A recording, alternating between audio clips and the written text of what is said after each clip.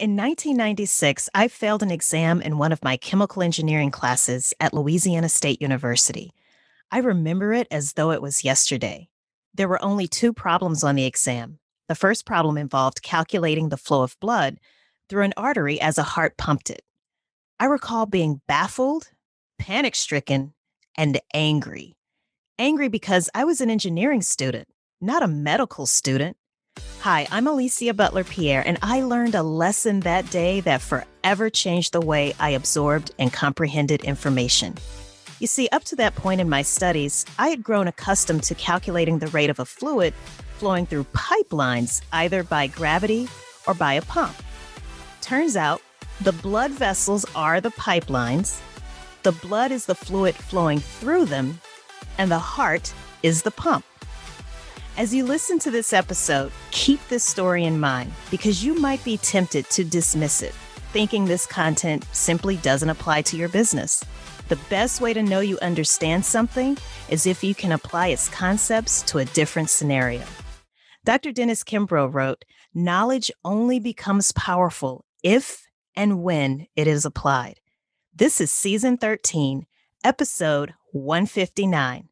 Let's start the show. Welcome to Business Infrastructure, the podcast about curing back office blues of fast growing businesses. If you're a business owner or operator looking for practical tips and solutions to scaling your business in a sustainable manner, you're in the right place.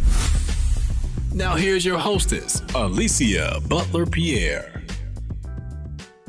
Having a tough time trying to explain ideas over a video conference? Try the ThinkSmart whiteboard. It's the fastest whiteboard software in the world and allows you to upload flowcharts and write on them while your colleagues are watching remotely. Call us today for a free demo. The number is 1 866 584 6804 or visit us online at getmytablet.com. Now that's smart. Think smart. This is season 13, and it's all about operational excellence, what it is, and how to achieve it. And joining us currently in New York today is Dr. Jeffrey Liker.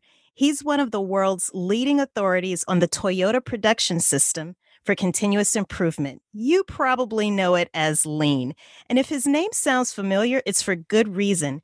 He's currently the president at Liker Lean Advisors, and he wrote the definitive best selling book on lean.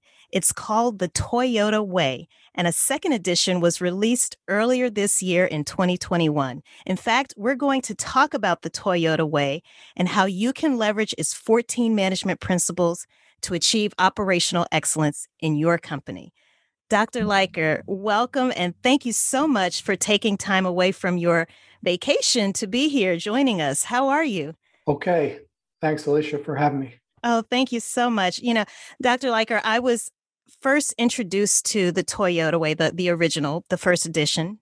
Subtitle is The 14 Management Principles from the World's Greatest Manufacturer. When I was I was first introduced to that book when I was taking an advanced lean principles course at Purdue University. And your book was actually our textbook. Mm. And I've held on it for dear life ever since then. If anyone ever wants to borrow it, I, I just politely tell them no because it's one of those situations where I have so many notes and so many things highlighted throughout the book that it's it's a keeper. It's something that I definitely cherish because it's it was a game changer for me. And I noticed as I started reading up about your background, very interesting background, I noticed that you have a, a Bachelor of Science degree in industrial engineering and a PhD in sociology. And I'm, I'm curious, before you started working as a professor at the University of Michigan, did you work as a sociologist at any point?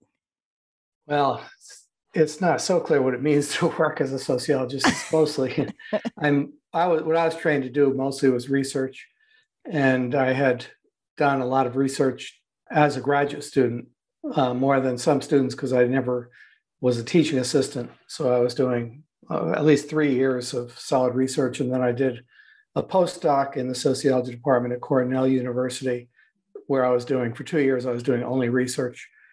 So in that sense, I had quite a bit of experience, and at that time, I expected I would get a sociology position, and I ended up getting selected to be interviewed in about eight sociology departments. Only got one offer at the very end of this long, uh, difficult process, and uh, it was during a in 1981, which was a type of serious recession and uh, hard to get a job. And then uh, at the last minute, I noticed a position at University of Michigan in industrial engineering, which mm-hmm. seemed kind of strange to me because I never expected to even think about industrial engineering ever again. Uh, hmm. But uh, it was a position for someone with an undergraduate engineering degree and a PhD in a social or behavioral science. And I called them up and they were very excited because I said they'd almost given up and they didn't think someone like me existed that fit their requirements. And within about a month, I had the job offer, and it was such a great university, and pay was good, and teaching assignments were good. So I took that over a sociology position. Wow. So it sounds like you were literally the perfect fit for what they were looking for. Yeah, I was in the sense that uh, on paper I was a perfect fit, and it worked out well. But uh, what they didn't understand was that in my research, my sociology research, none of it had anything to do with organizations, manufacturing, industrial stuff. I studied released prisoners and how they adjusted back to civil civilian life. I studied the effects of the Great Depression on families. It had nothing to do with industrial engineering. They didn't realize that because they hadn't didn't have really any concept of what a sociologist was, they just figured, you know, have an industrial engineering degree, I have a sociology degree, therefore I must know a lot about social things related to industrial engineering, mm. which was not true. It, it's true now, but so I had to, when I got there, figure out who I was and what I wanted to do with my life. You know, I was like, okay, you know, I was trained to be a sociologist in certain areas. Now I'm completely outside that in an arena that I know nothing about uh, or very little about. Now I have to kind of retool and refocus my uh, research. And I just happened almost by chance to be asked to be part of a big study comparing the US and Japan auto industries. And I, I was getting a lot of opportunities to do interesting research. And I was saying yes to all of them because I was just exploring. And that that's the one that ended up sticking. Wow. So that's how it started. Yeah. You became part of this this research team. Or was it was it a team or was it just you primarily? Uh there were a lot of people involved. It was a huge study. And There probably like 75 people involved from across the university, including outside consultants and researchers. So it was a huge team. Personally, I was working with one other professor who was a senior industrial engineering professor and he didn't know anything about social science or how to collect data or how to do interviews or how to write papers in social science, but he knew a lot about industrial engineering. So we actually worked very well together and learned a lot from each other. As you start conducting this research, did you know that a book would come out of this research or was it mostly writing some papers some you know papers for for different it was scientific mostly papers okay. yeah so in the when you first become an assistant professor the task is to get tenure and to do that, you have to write papers in peer reviewed journals. So that was my my goal at the time. That was in uh, 1983, 84, 85. And I didn't write the Toyota Way until 2003, after I had tenure. Wow. And I'm going off of memory here from the original book, but if I recall correctly, you, when you wrote The Toyota Way, you had already completed was it 20 years of research at that point? I would, uh, well, let's see, of 2003. I'm just doing the math. Yeah, so I started researching in, two, in 1976 up to 2003. So it was, it was all, about 20 years. Yeah. Wow. But you know, it wasn't all related to to this topic, but I had a lot of research experience. But uh, I would say uh, I had at least almost 20 years of experience researching Japanese management in various ways. I was looking at supply chain, I was looking at product development systems, and I was looking at manufacturing.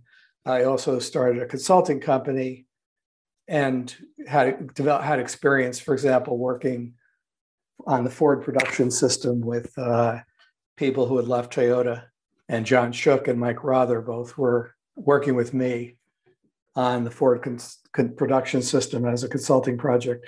So I had lots of different ways that I was learning from practice and from research. And it was over time that I narrowed down from Japanese management and manufacturing to Toyota. And it was mm-hmm. because mm. uh, Toyota was stood out in so many interesting ways from other Japanese companies.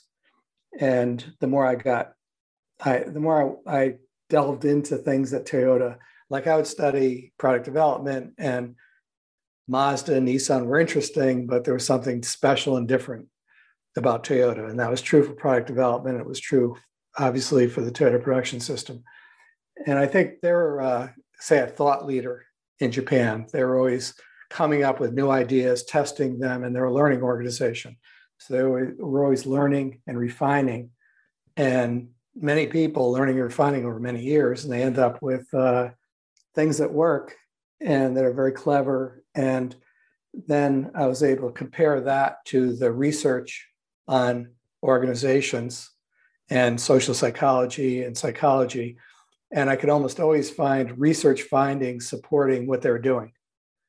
Wow. Uh, but the research findings were like, you know, done with with college students or with different subjects. But they would find, for example, there was a famous finding, uh, the magic number seven plus or minus 2 mm-hmm. Mm-hmm. and that applies to effective work groups. So five to nine people seem to be the ideal for a work group. And if it's more than that, you start to lose productivity. And if it's less than that, you don't get a diversity of opinions enough to get the best solution. So, what is Toyota's uh, magic number for their work groups? It's five. That's that's their ah. ideal number in a work group is five. There's over and over again they were what they had learned through experience, trial and error, common sense, was supported by research. Mm, that is absolutely fascinating, and and I'm I'm wondering. So you you write the book, The Toyota Way, first edition. It's published. What happened next for you? Uh, you were still teaching at, or were you teaching at the yeah, university? I and, yeah, and, I was at the university for 35 years. And did you uh, start uh, to leverage your book as part of the course materials or part of the curriculum? Well, uh, in most universities, particularly in research universities, there's uh, an allowance for faculty to consult one day a week on average. And I was already taking advantage of that. You know, for example, working on the Ford production system. So I was used to to uh, consulting. I had already formed a consulting company before the book came out. I had done an earlier book, Becoming Lean, which had gotten some attention, and that led me to get opportunities to do keynote addresses or to speak at offsites for companies. And I had a consulting company. Uh, so what the Toyota Way did was just greatly accelerate the opportunities I had for consulting, for speaking, uh, very quickly. Mm-hmm. With so the expectation was that if the book did well, it would sell sixty or seventy thousand copies, and within about the first six months, it had sold forty thousand copies. Wow! Uh, so it took off quickly, and then I quickly got bombarded with uh, calls and emails requesting that I speak here or there. Uh, and uh, then I got consulting opportunities and grew my consulting business. Uh, so that part of my life really is what changed the most. The mm-hmm. university is the university, and people are pretty busy with their own research and their own students. And uh, I would introduce more of the Toyota way into my classes, but the students at that time were not particularly interested in Toyota. And if you talked about any one thing very much, they would get bored and annoyed. So I had to be careful not to talk too much about Toyota. Hmm. Uh, but I had to, so I integrated it, you know, carefully into my existing courses. Uh, but the biggest effect on me was outside the university. and on the notoriety, fame, traveling over the world, you know, that part of my life uh, grew so quickly. I uh, bought off time at the universities so I could spend more time outside. Wow. And I know that the book, The Toyota Way, it's received several awards, many Shingo Awards to be exact. Can you tell us a little bit more about that for those who are listening and don't know what a Shingo Award is? Can you? Well, that was created at the University of Utah, and it was based on I think it was Utah State University, but it it, it was uh, based on uh, some way of honoring Shigeo Shingo, and in uh, the Toyota production system and lean, there's a lot of discussion about Toyota and Taiichi Ohno, but less discussion about Shigeo Shingo, who was an industrial engineer who was working for the government and he's working in a consulting capacity. And he was always outside Toyota, but he was a brilliant industrial engineer who learned about the Toyota production system from Toyota and then was hired by Toyota to teach their engineers and also by Taiichi Ohno to develop single minute exchange of dies, quick changeover of stamping dies. And so he was very intimately involved with Toyota, but as an outsider. As a brilliant industrial engineer, he was quite technical. So he wrote books like the Toyota production system from an industrial engineering perspective that are very technical books.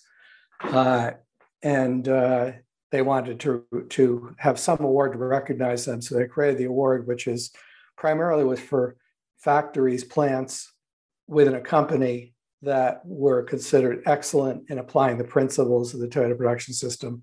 But then they also developed a research award for books and articles. So I had a number of I had had uh, a Harvard Business Review article, a Sloan Management Review article. So I had a number of mm. articles in applied management journals like Harvard Business Review that won awards. And then I had books like Becoming Lean won an award, and then The Toyota Way won an award. And then mo- after that, every book I wrote about the about Toyota, Toyota Talent, Toyota Culture, the Toyota Way Field book, I would send them in, and everyone would win the award. So I ended up with 13 of those awards. Wow. wow. That is amazing. okay. At some point, I was wondering, should I do it or not? You know, because other people should get a chance. But I wrote those other books with other people, so for them, it was the first time they got the award. Wow, that that's so impressive. So, okay, the Toyota Way comes out. There, it's an immediate success. It's an international best-selling book published by McGraw Hill.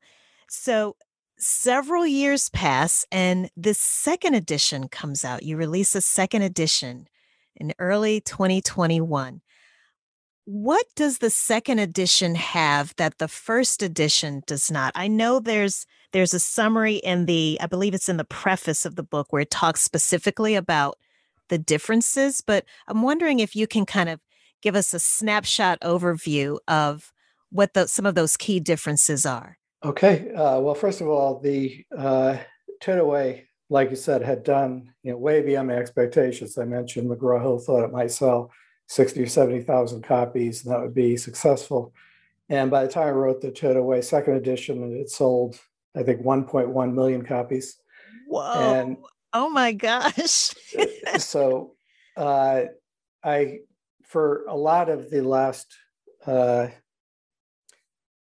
15, 14 years since it came out, I I was perfectly happy with that. You know, and I thought, you know, I it's enough. It's a classic. It's still it was still being sell, selling well after 14 years. So there's no reason to touch with touch it or and possibly even make it worse. But two things happened over that time. One is that when I wrote the Toyota Way, I had some experience, but limited limited experience in consulting, and did not have experience applying all the principles I put together in the Toyota Way in my consulting teaching work. So over the years, I had accumulated a lot more stories and a lot more examples, including in services, not only in manufacturing. Uh, so, and I did, I, I would regularly hear people saying, you know, I'm in a hospital. I read the Toyota Way. I could identify, I could see how the principles apply, but it would be nice if there were some healthcare examples and not just manufacturing examples. So I'd hear that sort of thing a lot. That wasn't enough to push me over the edge to do a second edition. But in the meantime, uh, Mike Rother, who was a student of mine in industrial engineering, he had his master's degree. And then we worked together at Ford on the Ford production system. And uh, he had he was a shop floor rat. So he was in the shop in the shop floor. He's at the Gemba and mostly in manufacturing for uh, many years, and he became really good uh, at like walking through a factory and in minutes detecting a lot of opportunities, and then uh, helping companies turn around the factories. And he was doing great. He was in big demand, but he was dissatisfied with the sustainability of what he was doing when he came back, often he would see what he had introduced working with them going backward. And he came to the conclusion that what was missing was leadership of a certain kind. And he identified that as scientific thinking. So mm-hmm. when he kind of stripped away, you know, what is the Toyota way? What's different about Taiichi Ohno? Uh, what's different about these managers who work for Toyota? He came to the conclusion it was a way of thinking not simply tools like Kanban or setting up a one piece flow cell. It was a way of thinking. And then he further concluded that it was a scientific way of thinking. And by that, what he meant was that they didn't trust their assumptions and felt the need to test their assumptions. So, for example, if they were really good at setting up one piece flow cells and they kind of had that down. And then they went into a different company, like Toyota worked closely with their suppliers, teaching the TPS, but then they also were teaching it outside of Toyota and outside of automotive as a service to all sorts of companies. And even though they had kind of a, a recipe of things that worked, they would not go into an, another company starting with the recipe.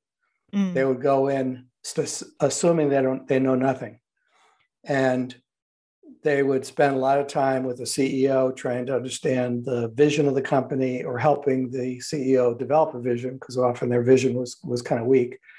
And then they would start working with people on the shop floor, and their goal was to develop those people by asking questions and challenging them, not by giving them answers. And they would start with the very basics. If the uh, biggest issue for the CEO was on time delivery with high quality. They would want the people they were coaching to study their existing quality systems, to study their uh, the problems that cause on time delivery, just to understand the current condition. Uh, and then they were ground. Then they, the projects were then grounded in the starting point, the current condition, and then they would uh, encourage people to just try things. If people were kind of hung up, like what is the right solution, and you know what are the, what are the, what's the ideal quality system, and what does Toyota do, they wouldn't want to answer those questions. Mm. They would just want to say, here are the problems you have identified that prevent you from reaching this goal. These these are the obstacles. Pick one, and just try something, but don't spend money. don't buy anything. Just try try working with what you have. Mm-hmm. And then through a process of experimenting, discovering, learning, the system would start to build itself up over time. And they would give hints and tips. And if it came to a pull system, they would teach them about Kanban, uh, but only teach them when the student was ready and they had a need. And the, the end result would look like the Toyota production system. But they didn't start with the Toyota production system and try to implement it. So Mike had you know seen that for many years and studied uh, a variety of TPS sensei uh, teachers, mentors, uh, and he came to the conclusion that they had that there was a pattern to their thinking, and that mm-hmm. pattern was more important than the tools. In fact, if you take the tools underneath the tools are a way of thinking, and there's a purpose for each tool based on that way of thinking. And the underlying thinking is easily, not easily, but it's broadly transferable, whereas the tools may not be. And that's where a lot of people get confused by saying, well, we don't make cars, we don't make something every minute, we don't have repetitive, yes, simple jobs, we can't down to the second create standard work because they're looking at the surface, which are the solutions that Toyota has applied in what you see when you go on a tour in Toyota, you're going to see the assembly plant. Almost mm-hmm. very few people have gone beyond the assembly plant, but Toyota is a big company and has lots of departments and does a lot of things besides assembling cars. Uh, but that's what you see. So if you're just trying to find something you can copy, you might be out of luck. But if you understand the underlying principles and you understand and you learn the way of thinking, then you'll solve your own problems. And that's what Mike called scientific thinking. So he wrote, he wrote about that ultimately in the book Toyota Kata. Kata, in his case, Kata is a way of practicing exercises to get better at scientific thinking. And he was very excited about it. And he had brought his book to me, signed, and he was very interested in in teaching me about this. And he also wanted me to start incorporating it into what I when I talked about the Toyota way. And it seemed to me like it was a missing puzzle piece. Like mm-hmm. I mm. knew I knew about it. I knew about scientific thinking that's actually in the original Toyota production system document. They say really TPS is based on scientific thinking. But Mike had fleshed it out in a way, tying it into neuroscience, tying it into cognitive psychology, uh, tying into a lot of different literature. And he had fleshed it out in a much deeper way than I'd ever seen. And I and I started to get these aha moments like, okay, mm. that makes sense. Like, for example, the starting point for Toyota is always a challenge.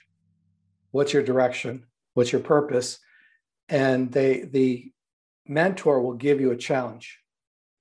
And it could be to uh, eliminate 90% of your defects. It's going to be a big challenge. Or if you have a lot of late shipments, you're paying emergency freight, it would be zero late shipments, no emergency freight. So they'll give you a big challenge that might even seem impossible. And then they will encourage you and coach you to work your way toward the challenge with a lot of passion, persistence, don't give up, just keep trying. And what you're trying are a lot of experiments, and that's where Kaizen comes in.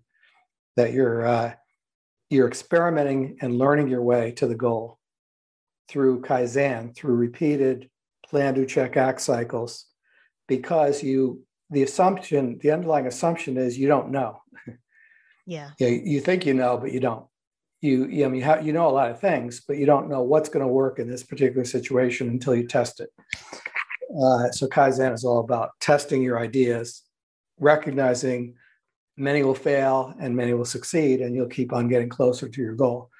So uh, that's what he that's the essence of Toyota Kata is teaching the scientific way of thinking to reach a challenge.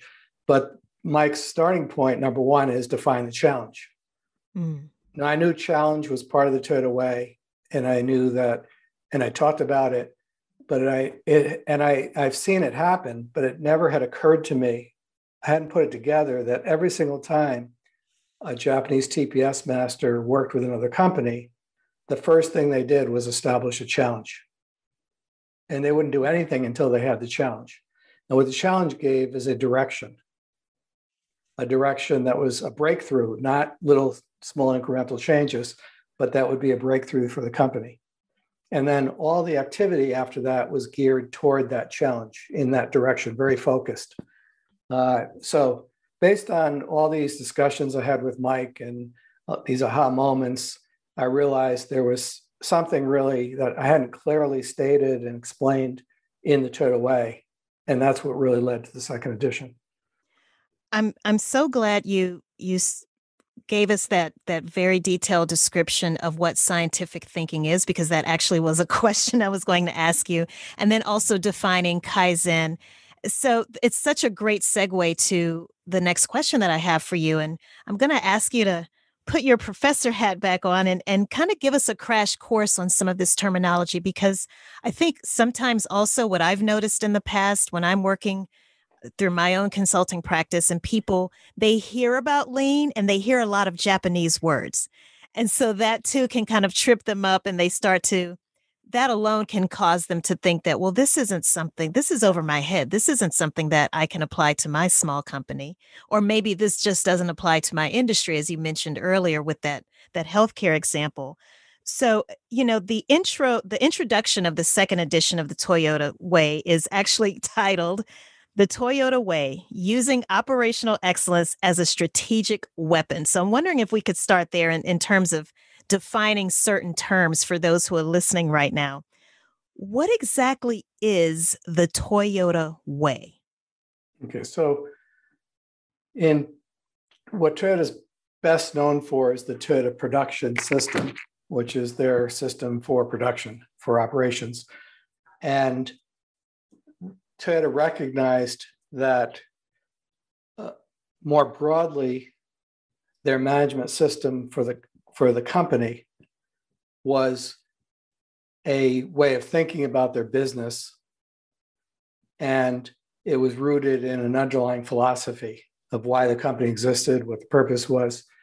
Uh, and they also realized that as they went overseas and set up factories all over the world uh, and other kinds of operations, sales organizations over the world, that the uh, Americans, the Mexicans, the Russians, the British, the you know whatever French, that they would learn like every, like most of us, they would learn the tools of lean 1st mm-hmm. and they would learn some principles like eliminate waste and what are the seven wastes, but they didn't understand the underlying uh, philosophy and way of thinking.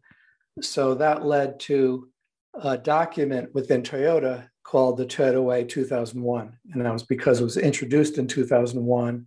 And there was they put a timestamp on it with the understanding that at some point it might change. And it actually in the last couple of years it has changed. But the Toyota Way 2001 was Toyota's way of explaining the underlying way of thinking that uh, the Toyota production system is one piece of, one part of. And they have two pillars. One is respect for people, and one is continuous improvement. And that's in English because the Toyota Way was really, that document was really not intended only for Japanese. It was primarily intended for everybody except Japanese because the Japanese already got it and they had mm. usually hired into the company and they spent their whole careers in the company. And it also fits certain aspects of Japanese culture quite well. So they didn't really need to explain all this internally. The culture was a culture, and they were like fish and water, and they didn't even know what water was.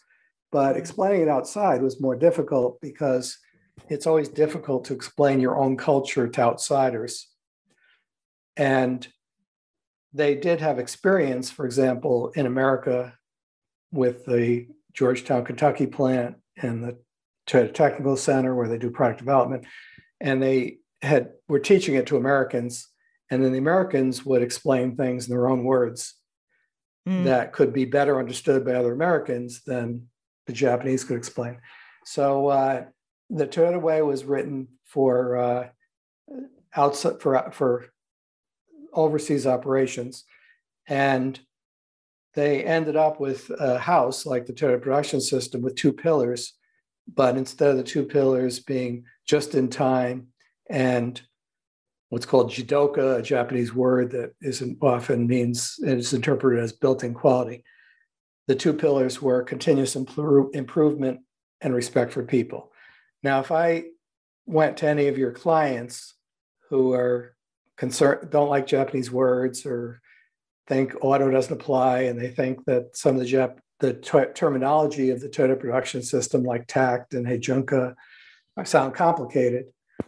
I would bet that every one of your clients could understand the idea of continuous improvement and could understand the idea of respect for people. Yes.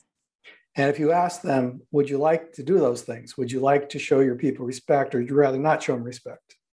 I bet nobody would say they'd rather disrespect their people. Right. And if you ask them, would you like to continuously improve, or you'd like to be sta- would you like to be stagnant, not improving? I bet nobody wants to be stagnant. You know, everybody realizes that they need to adapt and and and improve in order to keep up with the market, to keep up with the competition. Uh, so they understand that the world is dynamic and changing, and they have to be dynamic and changing to keep up with it. So that those are two things that everybody could understand. And then the Toyota, Toyota's Toyota Way has a foundation starting with challenge, which I mentioned, and then a, a uh, Japanese term which means go and see to understand. And often they will use the expression grasp the situation. What is the current situation? Or, and there, there's a, a, Japanese term, the gemba, which mm-hmm. is where things are happening. You know, so if you want to understand the shop floor, don't sit in a conference room theorizing about the shop floor. Go to the shop floor and observe and see for yourself. If you want to design a new product for customers, don't theorize about what your customers want. Go and talk to your customers and see how they live and see how they are using their existing products. So it's delving in almost like an anthropologist who goes and observes directly and talks to people and asks questions and listens. There's a lot of value placed on direct observation, listening carefully, and understanding the facts of what's really going on here. So if you understand the challenge, which gives you the direction, and then you understand the current condition, which is your starting point, then the third step is what I call Kaizen. It's starting to uh, experiment. And Toyota would prefer that you try many small things rapidly instead of big home run transactions. Hmm. Like you might say that we need to reduce our, our costs of purchasing. So we're going to create a global purchasing operation and even consider the possibility of outsourcing purchasing, which some companies now do. So that's, you know, you bundled up purchasing into one transaction. We find a vendor and we outsource it. And then you're spending all your time trying to compare vendors and find the best deal. Whereas what Toyota would say, okay, well, maybe you'll eventually you'll conclude that you need to outsource purchasing, but let's just start with understanding what you're trying to accomplish. You know, what is your real goal? And they might say, we want to cut costs. And they might say, okay, I understand cutting costs is one goal. Is there anything else? And you know, they might pull out of them that they have to ensure high quality, uh, and that the uh, products need to be integrated with their products. Uh, so they need to to have design integration. So you'll usually find that there's more to it than just cutting costs. Then they're going to say, let's understand the current condition. And they might find, for example, that the purchasing people are buyers and they're trained in negotiating costs, but they're not trained to really understand if the products fit with their current products. They're not trained to support design engineering. They're not trained to understand quality of their vendors. Uh, so there's a bunch of holes in uh, the current system for working with suppliers. So that would lead to the Kaizen process. You know, what can we focus on first? And if the company takes that seriously, they will almost always make great progress on all their goals by developing their current organization in new ways. And they will conclude that it would be crazy to outsource this because now our people are so good and they have and they mm. understand our culture and they understand and they're integrated into our systems. And to outsource this to strangers just to cut costs would be would be nuts. They couldn't possibly do the same job. So that's uh, that's in the foundation, and then in the foundation of respect for people is respecting people by developing them, by investing in teaching them, developing their capabilities, so that they're better people and they're more valuable. Uh, and that will spill over into their, their personal lives. It'll, it'll, spill over to charitable work, and a lot of parts of Toyota you're expected to, to do charitable work uh, that involves your time and using the skills that Toyota has taught you. Uh, and also that's rooted in treating every person who works for the company as a team, a long-term team member that Toyota's investing in, expects to keep around, hopefully for their whole careers. That's great. Operational excellence. What exactly is that? Is it a, a mindset? Is it a, a, a cultural thing to try to achieve in a company? What exactly is it? Okay, so in the 14th principle, I'm going to jump ahead to now. I talked about Toyota's house of the Toyota Way 2001. And in my new model, uh, I have reconfigured the problem solving P. I had four P's, and problem solving was one. And the f- new 14th principle is connecting strategy to execution. Uh, mm. So I, w- I want people to have a bold strategy, but then to work to achieve that strategy through both some big steps, but a lot of small steps. And the steps are designed to execute on the strategy. So the strategy is really kind of a theory. This is where we want to be in the marketplace. Here's our business model. Here's what's unique about us compared to our competitors. So that's all a vision of what you want to achieve and a plan. And then you need to put that plan into action. And I refer to that as execution. Hmm. Operational excellence to me is about execution. So if you're just focused on operational excellence and that's all you're seeing, then, and this would be true, say, for industrial engineers, then your client is the company, your client is the management, the executives, and you want to know what they want you to achieve. Mm-hmm. So they have a strategy and they have a reason for wanting wanting you to achieve something. And to some degree, it doesn't matter what that is. You know, so the tr- typical industrial engineer will not question that. But then once they understand the direction, now they have marching orders. And now they have to it, improve the ability of the whole system of people, processes, technology to achieve those objectives. They didn't just define the objectives, that was somebody else's job, but now they're helping to execute to achieve those objectives. Uh, so, to me, operational excellence is about execution.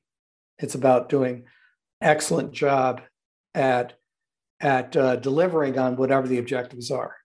We want to have this great product that customers love. That needs to be designed. So there's a process for designing that uh, product that the companies that people are going to love. We need to deliver that product to them uh, with very high quality. So that mm-hmm. requires excellence in quality in perhaps manufacturing or creating the product, delivering the product, you know, whatever's involved in doing that. They want it to be very reliable. They want to be able to depend on you to give them something that works every time. And they uh, would like it to be on time. They'd like to have it when they when they uh, need it. So Toyota defines really the, the main elements as cost, quality, delivery. And if I can give you with high quality exactly what you want, when you want it, uh, at a competitive cost, you're going to be happy whatever the whatever the product or service is. So delivering on that is some sort of a system and processes and people and there's technology involved and you know that all has to come together. Now, if you want to be be uh, excellent at that execution, then what you what Toyota does is they define they start with defining the ideal state. They say what is what would perfection look like? Mm like perfection is zero defects. And that's the vision. That's the true north for operations. So excellence for Toyota is perfect is striving for perfection, but also they recognize that they never could be perfect. You know, nobody in the company is perfect. Yes. There's so many variables and there's so many things that happen unexpected that you're always going to have waste. You're always going to make mistakes. So, what they actually do, their actual execution, the reality of it, it will always fall short of perfection. But what perfection gives them is something to strive for. Mm-hmm. So, operational excellence for Toyota is something to strive for to deliver on the promises made by the company to their customers. Excellent. And this might seem like a really simple, basic question, but how did we go from Toyota production system to just referring to it as lean? you can, well, there's a guy named uh, David Krafcik who was a uh, student at Stanford University, and he had the opportunity to be an intern at NUMMI, Toyota's joint venture with General Motors, the first Toyota assembly plant in in North America. And so that was like right around the corner from Stanford. And he had an opportunity to work there and learn about the Toyota production system. He then went to MIT, where he worked with Jim Womack and Dan Jones. And Krafcik actually came up with the term lean. Mm. And apparently, what he was thinking about, he was also apparently a pretty good athlete. And he was, what he was thinking about is that the Japanese, whatever it was, whether it was product development, whether it was manufacturing, whether it was inventory or, or cost or productivity, whatever it was, they seemed to be able to do more with less, more with less people, mm-hmm. uh, faster, higher quality. Uh, so he was thinking, what would be a good word to describe more with less? And then he thought about an athlete who can do more with their body, expending less energy than average people. So he came up with the term lean because you talk about a lean athlete. Mm. So his, you know, I think uh, this is my understanding. I haven't talked to him about this, but he did write an article in Sloan Management Review introducing lean before the machine that changed the world came out. And then the machine that changed the world amplified that a thousand times. And became a bestseller, and then lean took off as as part of the terminology. Now they called it lean production. Did it, but but in the book, and Jim Womack, if you listen to him, he will always say it wasn't just production. You know, we, we didn't mean it. Mm-hmm. It was product development. It was purchasing. It was uh, sales. It was every part of the company. It was a lean enterprise. It was not just lean production, but they use the term in the title lean production and uh, then it took off and like any hot words buzzwords it gets misinterpreted and also it gets interpreted in many different ways like a tower of babel by many different people mm. well i would have never imagined not even my most educated guess i think would have led to to what you just uh, shared with us so so thank you for that because i know sometimes people get confused. I, I for one, for years was confused by that. Well, is there a difference? Is it the same thing? So thank you for clearing that up. I'd, I'd like to read a quote from the preface of the second edition of the Toyota Way.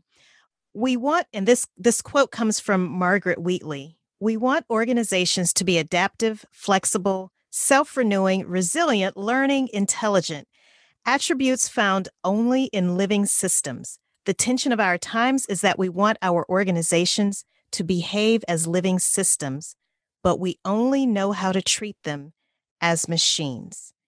And this kind of goes back, Dr. Liker, to what you were sharing earlier when people start to just automatically break down and say, well, this, or shut down, I should say, and say, you know what, lean, Toyota production system, this does not apply to my company because we have a professional services firm and i know you've you've co-authored a book specifically on the toyota way for service companies.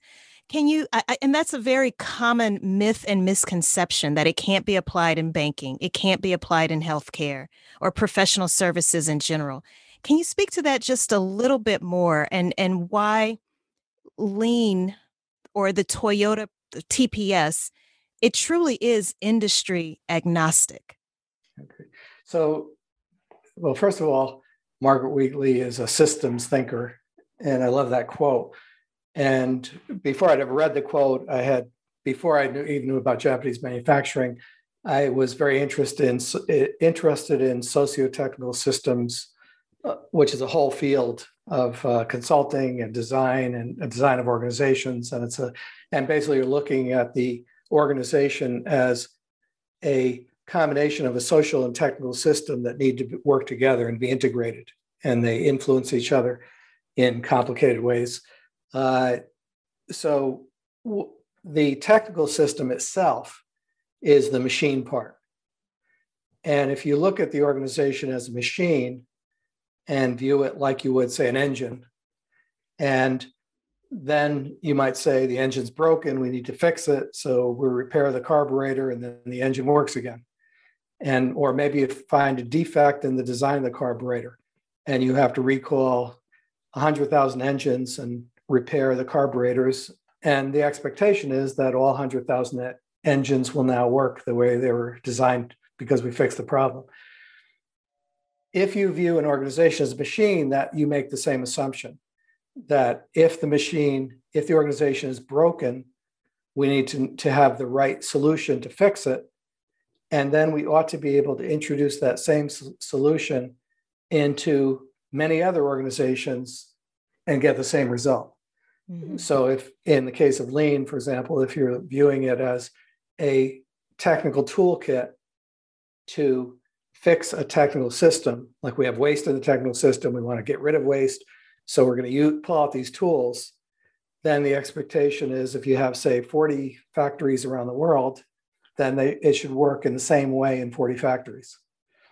When in fact, each factory is in a different country, each country has its own culture, each factory has different equipment from different ages, and each factory is actually a unique socio-technical system and needs to, to some degree, be treated as something unique that needs to evolve in its own way. Uh, so the uh, the paradigm, our worldview of looking at organizations like they're machines, machines that happen to have people in them, and people are the least predictable part of these mm. machines. Mm. In a sense, people are just defective robots who have all sorts of quirks that prevent them from working in an optimal way. Uh, then you want solutions to fix the problems.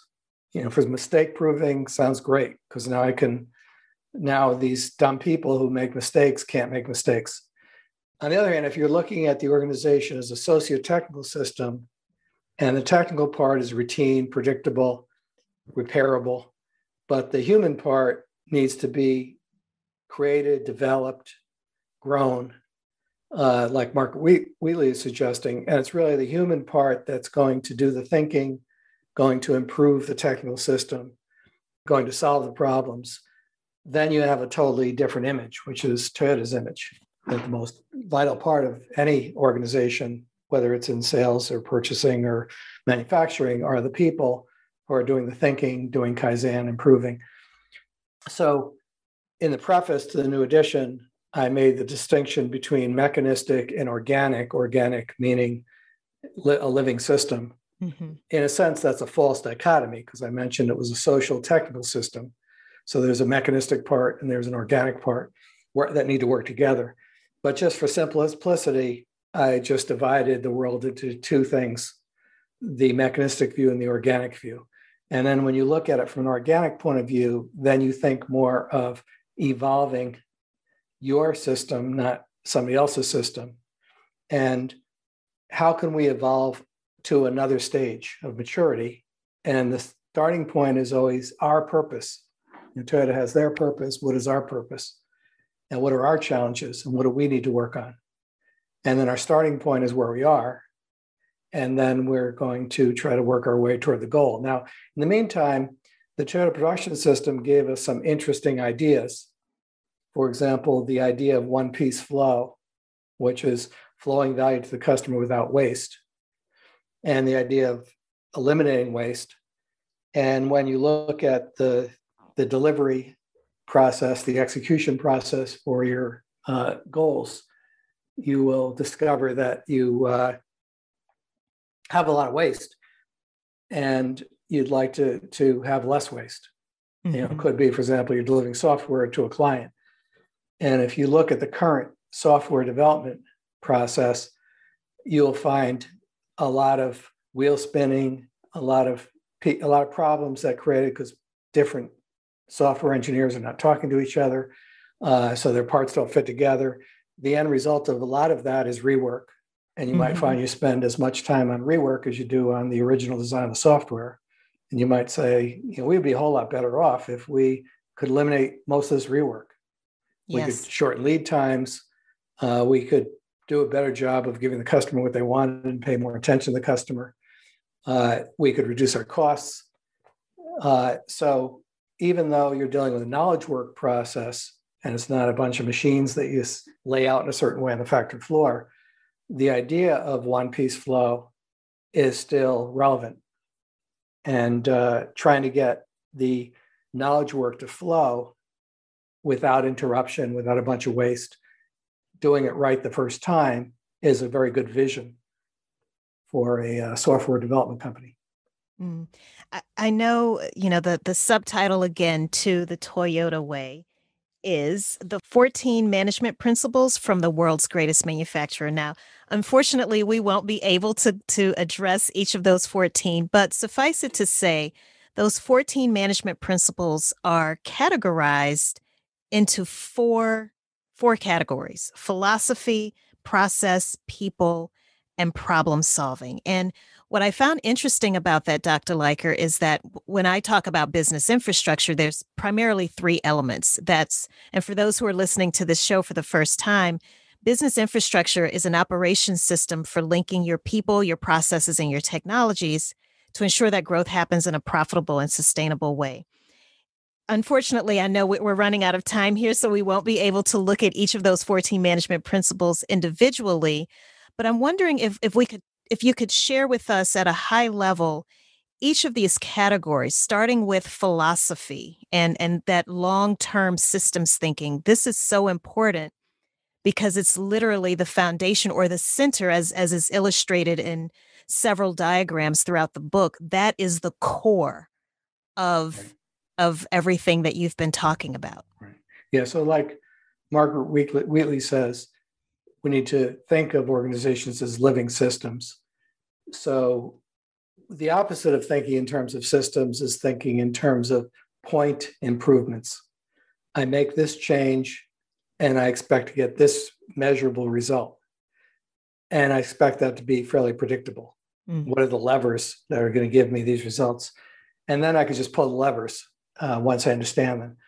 But when you deal with a system where parts interact, and then and their feed there's feedback from the environment that can influence what happens in your organization then a lot of those simple linear cause and effect assumptions break down and that's what creates the uncertainty which leads to the need for experimenting and learning in each part of the organization uh, not just once in a corporate office and then deploying what you figured out uh, so that's why you need the people who are closest to the work, who are involved in mm-hmm. continuous improvement, because things are always happening that you can't predict and can't expect because it's a system. Uh, so Toyota's thinking about the the Toyota as a part of a system that's part of a larger system, the world that's very dynamic and changing, and there's so many different parts of the, of the world that are moving parts and, and the world is so complicated that you need to have some focus. You can't focus on everything. So the other piece of systems thinking that's critical is purpose. What do we want to be? What are we trying to accomplish? And Toyota has a global vision every 10 years, and they right now have a 2050 vision. Uh, so they're looking way out. And then that can then also becomes a one year vision uh, for everybody. So everybody has a one year challenge, which is part of what's called Hoshin Kanri. So Toyota is always looking out where they want to be in the future and they want the direction to be clear. But then they understand that the system is complicated, so you need to give local control as much as possible with some flexibility to improve things at the front line by shop floor workers at the front line of where customers are with uh, engineers who are developing products. So there, there's a lot of flexibility given to the frontline workers who see the problems every day mm-hmm. and can respond to actual problems, not just theoretical problems. So long-term systems thinking under, they understand that number one, you need to have a long term vision, you need to have a clear purpose, and you're going to have both ups and downs. Things work, things that don't work. You can't punish people when things don't work. Uh, and you need to develop your people to become really good at sensing problems, understanding their causes, and solving the problems. And that means that uh, you need to value your people very highly and treat them as a long term resource that appreciates in value while all the equipment depreciates depreciates in value. So people are the only appreciating asset in the company. And when you give them an assignment that has a goal you want to get the goal you want to get the results but you also want to develop the people. And if they're if there's a new problem for them and you're you're challenging them they will take longer to solve it than perhaps you could with your mm-hmm. expertise. But you have to have patience to uh, let them struggle and let the project take longer because in the long term they you want to develop those people so that in the future they'll take less time and they'll have more capability to develop. And you know I, as leader might have 10 people who I've developed and now I've expanded my reach 10 times so that's all part of long-term systems thinking now I know there's there's another cluster of of out of that those 14 management principles that fall under the the category of process and I'm going to read a quote from your book regarding processes. We often think of a process as if it were a physical thing, but it is actually an ideal to strive for, not a tool to implement. So, again, just looking at those different management principles that do fall under process, what does it mean overall? Well, overall, first of all, the the processes people follow in the Toyota production system or in lean are things like one piece flow, which often in manufacturing is a cell. Instead of having equipment in different departments that builds to inventory and then ships to downstream processes, you create a cell where you line up the equipment to make a family of parts. And you make it self-contained you move the equipment very close together and you have almost no inventory in between. In between steps in the process uh, i've even seen it in offices where they'll pull together people uh, for example one was in a transportation department where they arrange transportation and logistics and there's different specialists and they put a collection of specialists together into a set of desks arranged like a cell so that they could actually flow their work from person to person so that's a specific configuration. And what I asked in the Toyota way is what is the underlying principle? And the underlying principle for Toyota is to strive to achieve one piece flow.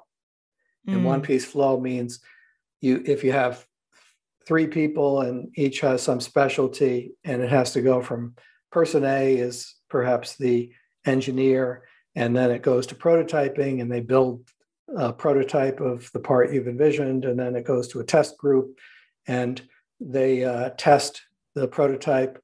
Instead of having a big batch of different engineering designs that go to prototyping as a batch and then they find time to schedule and figure out and and build the prototypes and eventually it comes back to you and then you bring it to testing and they they have a whole backlog of things to test you'd like to come up with the idea, prototype it, test it in a one piece flow. So that that would be a waste free process. If immediately when I came up with the idea, I could build it and then immediately I could test it, that would be you know kind of perfection, mm-hmm. the ideal of perfection, because there'd be no waste in the process. As soon as I have to hand off to someone else and it goes into a queue, there's waste.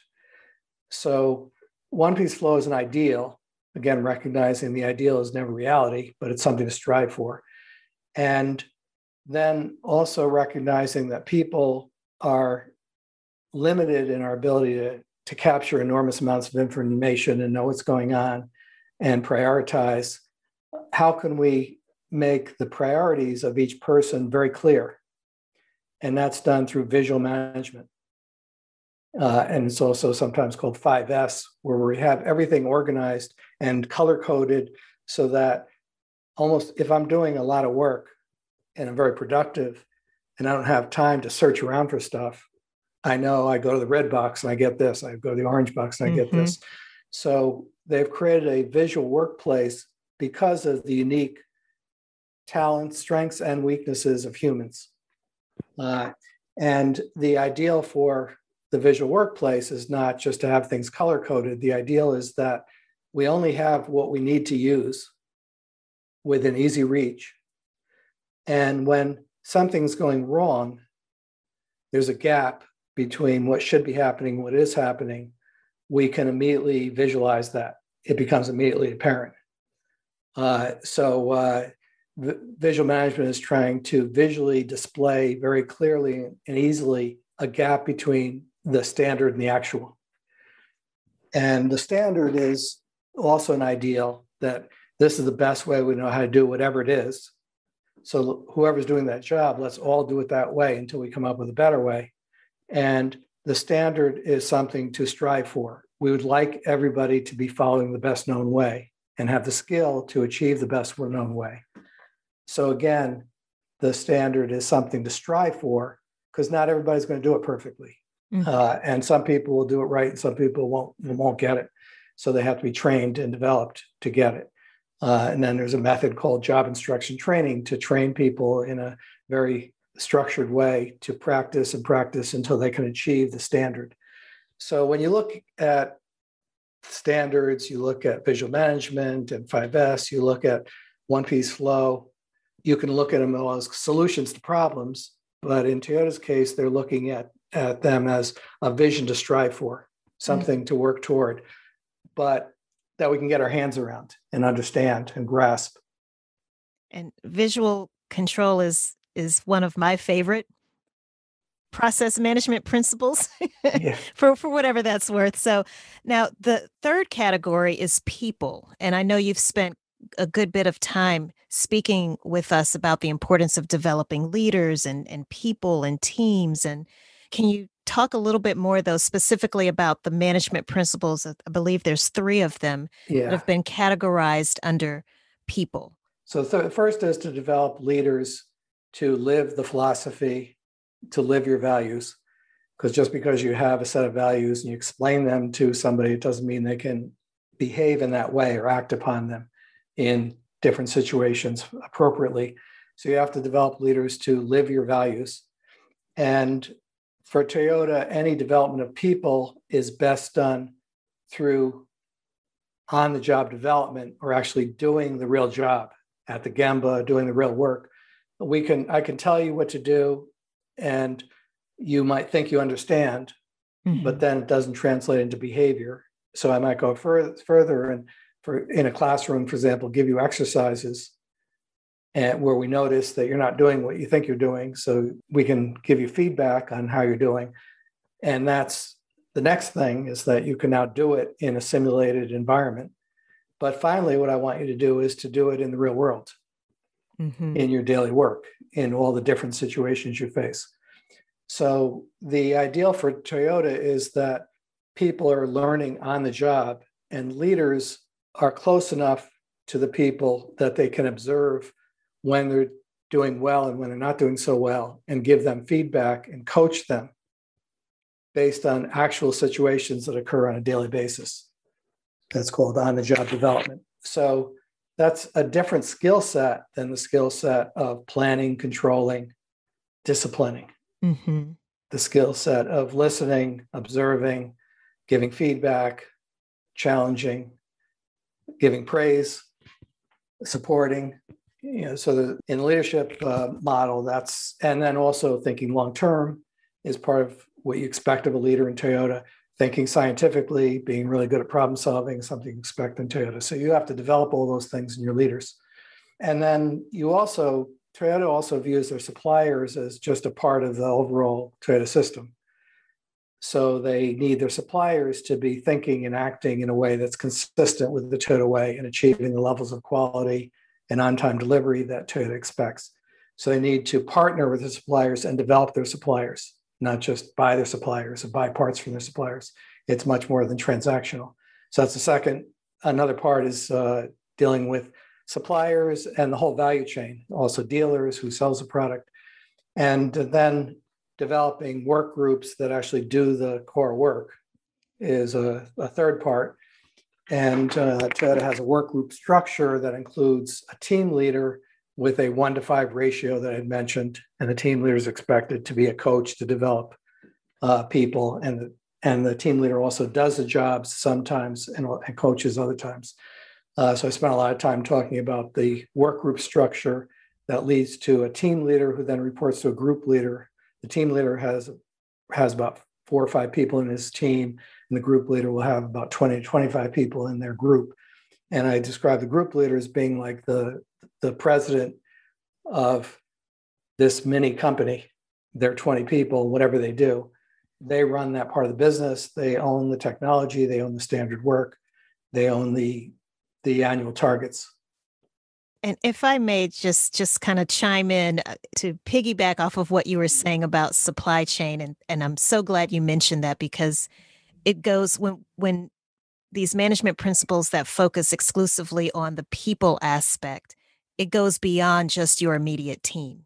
It includes right. your vendors, your suppliers, that that in, the entire ecosystem. And so I, I did notice that in the second edition there is a section that you were able to include about what happened to all of these supply chains as a result of COVID nineteen. So I I would say if if if for no other reason, when you buy this book, definitely read this because it's it goes beyond just your ability to provide a, a good or a service. There are raw materials, or there are other, even if you have a service, there are other people within your overall supply or value chain that can directly impact your ability to deliver on time, within budget, with high quality, consistently to your your customers. So I think that's that's really important. I just kind of wanted to chime in there. And so the last category, the fourth P, uh, for the the out of the 14 management principles is problem solving and i know you you've already talked to us about one of the management principles that falls under this category connecting strategy to execution but can you tell us overall in general what is problem solving about and the, the management principles that speak specific to problem solving? This is the part that i changed the most. It's almost completely revised and a lot of that was because of Mike Rother's Toyota and what I learned talking to Mike. And so the uh, the twelfth principle is dealing with thinking scientifically and learning iteratively. And I already discussed that. And the first step of that is your challenge, your direction. And then the question is, how do you set the challenge your direction? And you could set the challenge your direction, you know, have a manager just pick one and then have a lot of different targets in the organization that may not align to what matters most to the company. So you need to mat to define what matters most, and that's defined by the strategy. So the strategy gives you the long-term vision, and then you are developing people to do the day-to-day problem solving. Uh, and then in between that, you need a sh- you need shorter-term objectives that people can uh, actually dig their teeth into, and that's principle 13 is about Hoshin Kanri, also called policy deployment. So how does Toyota deploy the strategy so that everybody knows what they need to do to support the strategy. And uh, the way they do that is through an annual planning process. It takes about uh, five months of the year, uh, planning for the next year. And what they're doing is taking the strategy, which is longer term, and then at the top of the company saying, what are our main priorities for this year? And then that cascades down level by level, where at each level, people are asked, all right, what can you do to support the strategy to support what your boss needs to accomplish in the year? And then what can you do to supply to help your boss meet his objectives? And you go all the way down to the point where you get to the work groups for example of uh, team leaders or group leaders. And uh, so that that annual planning process then sets the challenges for everybody in the company. Mm-hmm. so what they're doing matters and adds up to something meaningful for the company. Uh, and that gives direction to the problem solving. Without that, the uh, problem solving can be fairly directionless. And you know, when it comes to something like, uh, say, 5S is very popular, cleaning up the workplace, getting rid of what you don't need, color coding things, finding a place for everything. That's an interesting exercise and most people enjoy it. And it looks better you, when you're done. It's like cleaning your garage or your basement. It feels so good to see everything look mm-hmm. neat and mm-hmm. orderly and tidy. but you could do endless 5S. You could never stop doing 5S. So in Toyota, they would ask, why are you doing that? What are you trying to accomplish with a 5S? Where does it fit into your annual objectives? You know, a certain amount of 5S you just want to do. For example, uh, a lot of 5S will help with safety, and that's always the first priority. But uh, they, you need to somehow prioritize because just way too many things to improve or fix than we possibly have time to, to improve or fix. Mm-hmm. So we need to pick those things, not that we could change, that might be nice to change, but that we need to change in order to meet the goals of the company. And those goals are set through this annual planning process. Well, this this has been absolutely fantastic. As I know it, as I knew it would be. This wow, it's it's great, and and hopefully for everyone who's listening right now, you are convinced why you need to go and get the second edition of the Toyota Way. If you want to have a best in class business offering the highest quality and highest value to your customers or your clients, this book is a must have. As far as resources, Dr. Liker, so I know you have, is it 10 books or, uh, or is it more than about, that? It's about 15. Wow. Okay. but some of those were before the Toyota Way, and they're not just lean books. Okay, so we're going to make sure we have a listing with with links to all 15 of those books because you know obviously we're not going to we don't have time to to talk through all 15. We've talked in a great deal about the Toyota Way, but I'm curious for people who are listening to you and they're thinking, oh my gosh, Dr. Liker is, is an excellent teacher. I really like this idea of scientific thinking. I want to learn more about these 14 management principles that constitute the, the TPS. How can I learn more from you? I know I went to your, your website, your company's website, Liker Lean Advisors, and I did notice that people can sign up for courses and, and maybe even some coaching or consultation from you. Is that correct? Yeah, at this point, yeah, we're not doing offering sort of standard like public courses where you could just sign up, but uh, okay. people contact me and they ask for support of various kinds. It could be my coming out and speaking on left side or doing a keynote address, uh, or they might want more hands-on support. And I have a, a network of people who I draw on for doing that.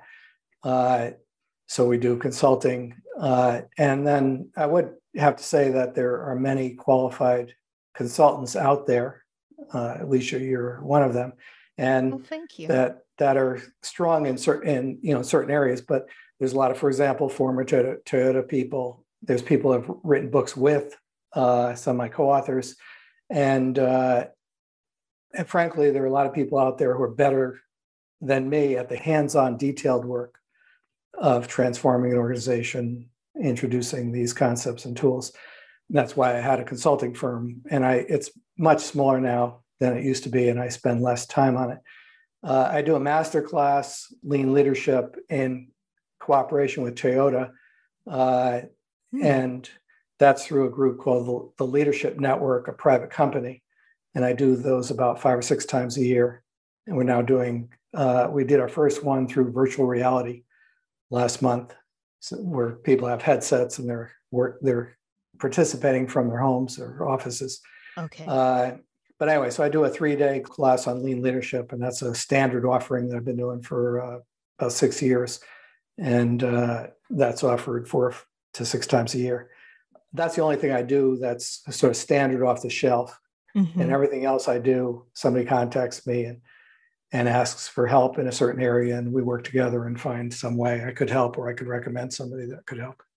Okay and before we get into um, how people can contact you i'm also curious i and it's it's so tempting to just jump right into the tools which is what you warned us against for at the very beginning of this interview but i am curious for those who read the toyota way and there's so many amazing wonderful illustrations throughout the book and for those of us, for example, if we see an example of an A3, and there's several examples, actual illustrations throughout the book. Where is, is there a central place where you would recommend people go to to download some of these templates uh, based on some of the tools, you know, value well, mapping? A lot, yeah, a lot of this. If were me, if I want an example, mm-hmm. I would Google it. I mean, literally, I would go to Google and I would put in uh, value stream management templates, value stream mapping templates. Okay. And I would click images and I would see all sorts of examples. so that's you know that's one way. The one place that does teach a whole bunch of different courses and is true to the Toyota way is the Lean Enterprise Institute, okay. LEI.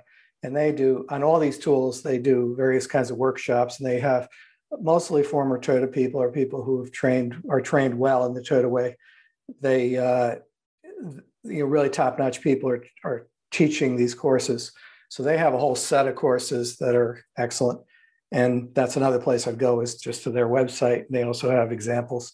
But uh, there's a lot of books that the Lean Enterprise Institute put out, like Learning to See, which is the book about value stream mapping, and making things flow, which is about uh, setting up material flow systems. And there's how-to workbooks on most of the lean topics through them. And then there's Productivity Press that has a zillion books on all these these uh, tools and topics. Mm-hmm.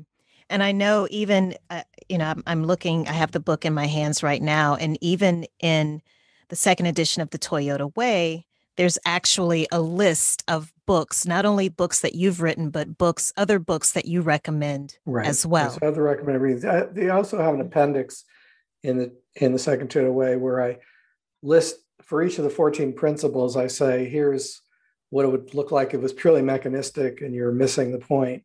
Here's what it would look like in the ideal if you're achieving the principle, and here's a midpoint of where you might try to get to. And then I suggest that you might want to use that like a checklist and say, on each of the 14 principles, where am I now and where would I like to be? And yes. that gives you a way of focusing. And I'm actually looking at that right now. It's pages, it's it's in the appendix pages 376 and 377. so funny you would mention that because I was going to bring it up anyway, but but I'm glad you you brought it up first. So it's figure A1 again in the appendix of the second edition of the Toyota Way and it actually spells out each of those 14 management principles and the cool thing is you and your team can actually take a look at this table and figure out as the instructions say here circle your maturity your company's maturity level for each of these principles and you can see where you are versus where you'd like to be. So there's that visualization component of it as well. What's the best way for people to connect with you dr Liker through uh, email. My uh, email at the university of michigan Liker at umich.edu Liker at umich.edu and that's been my email for probably the last 30 years Wow. And, again, that's Liker at UMI. Uh, CH for University of Michigan dot edu oh, for education. Yes. Okay. Thank you very much. So I, I know we are uh, kind of running out of time here, unfortunately. There's so much more I wanted to ask you, but I, I do want to be respectful of your time. But I'll just kind of quickly, quickly summarize some of the the key things that you shared with us. First, thank you so much for sharing with us your backstory and your background and how you came to get involved with uh, research in the automotive industry and in particular Toyota. So that was that was really fascinating and it gave great context knowing about your background in sociology as well as industrial engineering and how you've been able to blend elements from both of those fields into this body of work that you've become well known for. One of the things that really stood out for me was your definition of what the Toyota way is in and of itself. It's Toyota's management system for thinking about the business, with the two main pillars of it being continuous improvement and respect for people. I also appreciated the fact that you said most of us, and I'll admit I'm very guilty of this myself as well, we focus on the tools and not the underlying philosophy and the scientific thinking. So I'm definitely going to go back and reread those chapters that you said uh, your your former student Mike uh, Mike Rother, I believe is his name. Um, yes, and how he introduced that scientific thinking aspect. So I'm definitely going to make sure I go back and check that out even more. I, I also started writing out kind of a very rough step by step process, very generic based on some of the things that you've shared with us. So, starting off with defining what does perfection look like? Because that is the true north, that is the guidepost.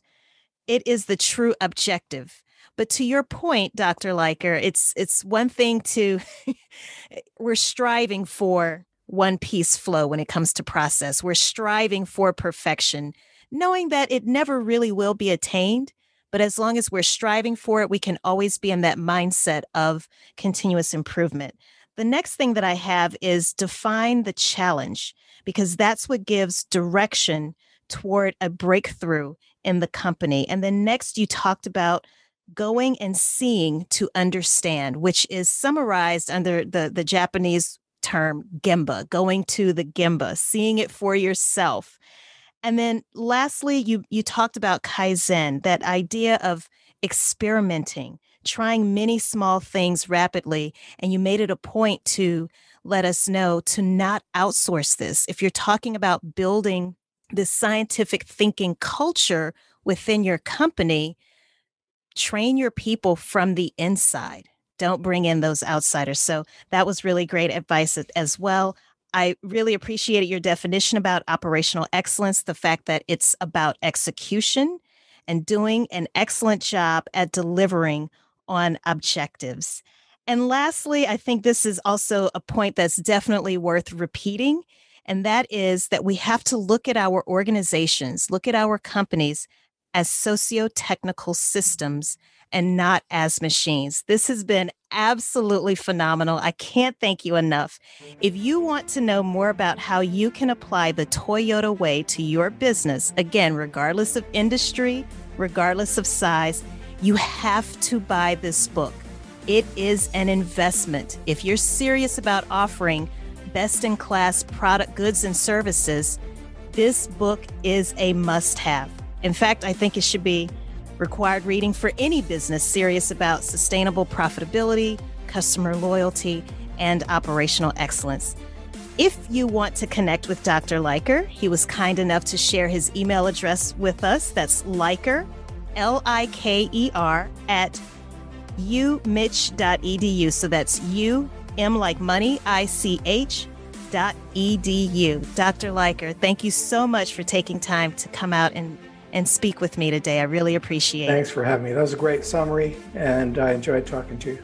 Thank you. Now, don't forget to check out businessinfrastructure.tv. That's where you can access quick links to all 15 of Dr. Liker's books, as well as his consulting firm's website, and even more resources that he's mentioned throughout this interview. There's no need to type out that web address. Just make sure you click the link in the description of this episode, wherever you're listening to this podcast, and it'll take you directly to that list of resources. You'll also find out more information about the HubSpot Podcast Network, as well as our sponsors. Please support them. When you do, it helps us keep this show free for you. Again, the link is in the episode's description. Thank you so much for tuning in and for being a loyal subscriber. Remember, stay focused, be encouraged, keep operating as good on the inside as you look on the outside. This entrepreneurial journey is a marathon and not a sprint. Until the next time. Thank you for listening to Business Infrastructure, the podcast about curing back office blues with Alicia Butler Pierre. If you like what you've heard, do us a favor and subscribe, leave a rating and review, and more importantly, share with your colleagues and team members who could benefit from the information. Join us next week for another episode of Business Infrastructure with Alicia Butler Pierre.